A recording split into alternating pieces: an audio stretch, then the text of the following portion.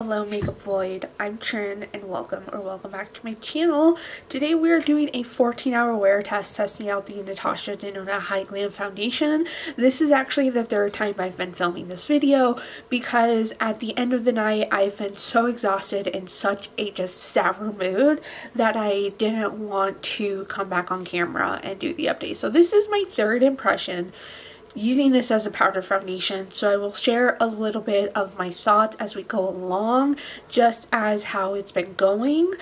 But then we'll do the wear test and I will actually for sure do an update at the end of the video like saying just so y'all can see. So I'm just getting the hy glam powder foundation pulled up on my phone. I will zoom y'all in give this video a like and subscribe to my channel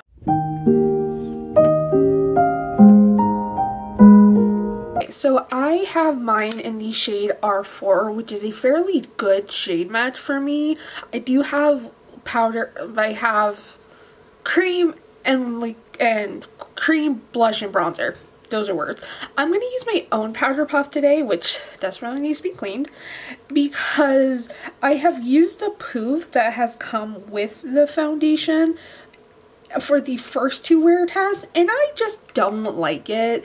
It is so firm and the edges are so sharp to where it just does not, it, it, it, it, hurts. Like using this on the under eyes to set it, I don't know, I think maybe for vacation I will actually bring an under eye setting powder. So I'd have two powders with me. But this goal really is to be that I don't bring an actual foundation and that I just stick with a powder because I am only bringing a carry-on and my backpack with me so I don't have a lot of space and I just I need to be more resourceful with what I am bringing.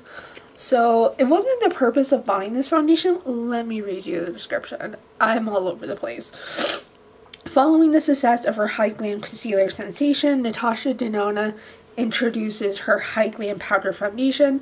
This blurring Flex Tech Hybrid powder delivers a poreless, oil-controlled, perfected second skin finish while caring for your skin, and it's available in 36 shades.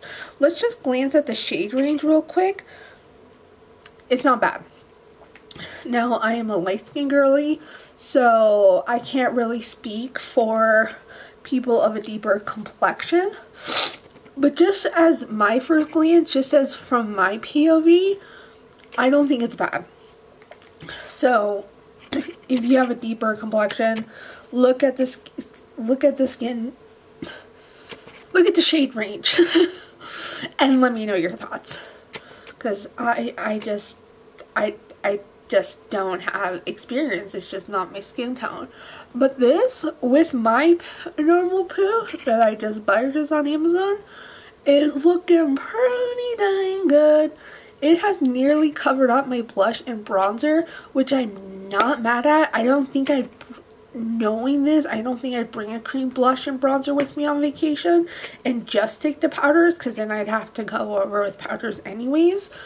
So it's not bad. Um, I really do like the coverage. I am definitely mad. I will also say it didn't happen this morning, but I've been dealing with pilling with my skincare. I need to Google what's up with that because I don't know what's going on. But I didn't have it today, but I had it a couple days ago and the foundation, it just wasn't good. Now I will say that my nose has been running more frequently often the past couple days. I had like a good week and week and a half where I didn't have to deal with a runny nose and it is back in full force. So I am anticipating a lot of wear down around my nose even as I do the rest of my makeup. I am anticipating a little bit of wear down right here where my glasses sit. My glasses don't touch my skin right there, but sometimes as I am like adjusting them on my nose and such, occasionally they will hit my face and I get a little bit of wear down. So hopefully that does not happen today. Primer, I did use the e.l.f. Liquid Poreless Putty Primer if I didn't mention. I don't think I, I haven't tested this and I don't want to test this, but I feel like a sticky gripping primer just wouldn't be a good idea with a powder foundation just because I feel like I would just pat it on and then it would only stick right there and it wouldn't really blend. I have tried this just as a setting powder with a brush and you really don't get coverage when you use a brush. Maybe the brushes that I'm using are too fluffy but that's just my experience. I would definitely use this this powder with your trusty powder proof. Not the one that comes with it, but just your trusty one on the side. So I will finish the rest of my makeup. We will re-evaluate when everything is done and I'll be right back. Back with my full face makeup done. I did use a shimmery blush. It has a slight sheen to it. It's not super intense. It's the NYX Butter, mm, Butter Melt Blush in the shade U Know Butta. So there is a slight sheen to my skin, but it's not overt. Didn't use a highlighter because I wanted to see how my oils go through. But overall, my skin is looking great. It's looking so good. I just love, I just love it. Can I scrunch? Yeah, I scrunch. I don't really have wrinkles. Scrunching doesn't do anything. But I think my skin looks pretty damn good. I like the coverage that it gave. Powder products, I mean the powder products applied beautifully on top of it. I didn't have any issues. Even for a powder that was really close to my skin tone, I still feel like my concealer was heightened a little bit. It wasn't covered up to be like super dark. So I enjoy it. I think if I used a really bright concealer, it would look a little too weird. But even as an under eye setting powder, like it looks amazing. I do think my skin is pretty blurred.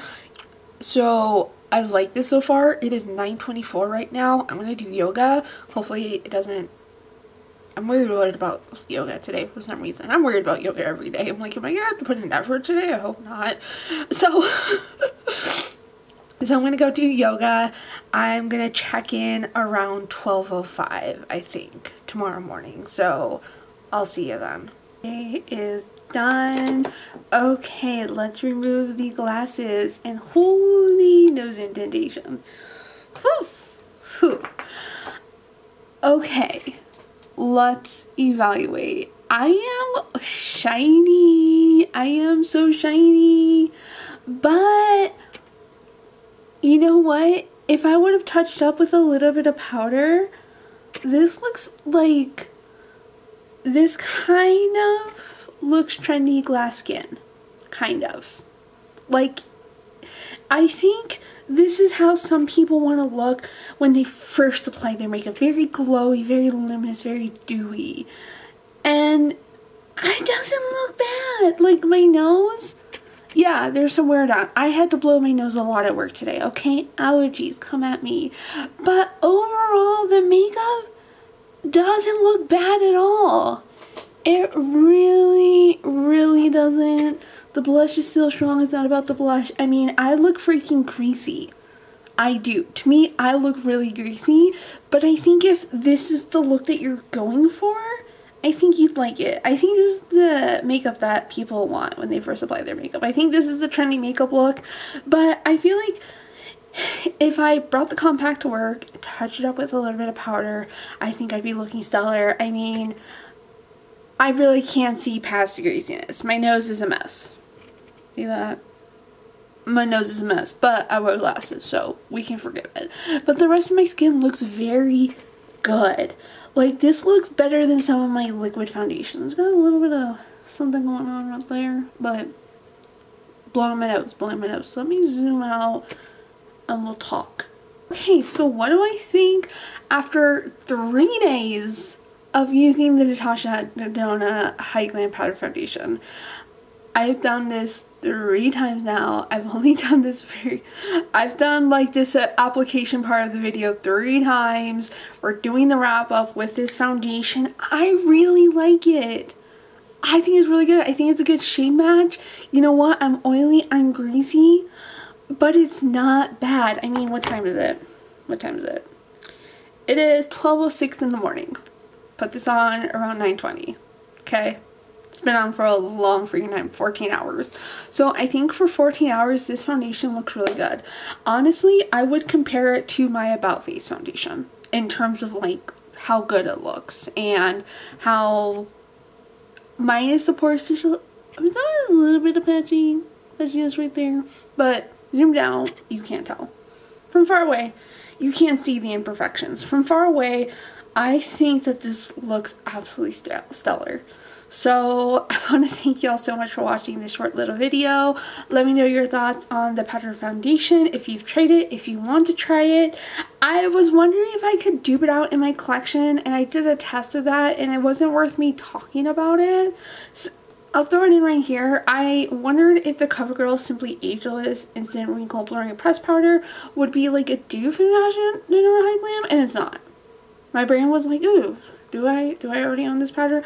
Is this? No, no I don't. This is $20, this is $55. This is very expensive. This is a very expensive powder. This is my most expensive foundation. it is, but I kind of think it's worth it. I kind of think it's worth the $55. I really think I do for the cover, the fact that it's a powder foundation, the fact that it's a lot easier to touch up considering regard regardless like I'm freaking oily like I am I am shiny but for having super oily skin end of 14 hours I think it looks pretty damn good. So thank y'all so much. As always have joy and bye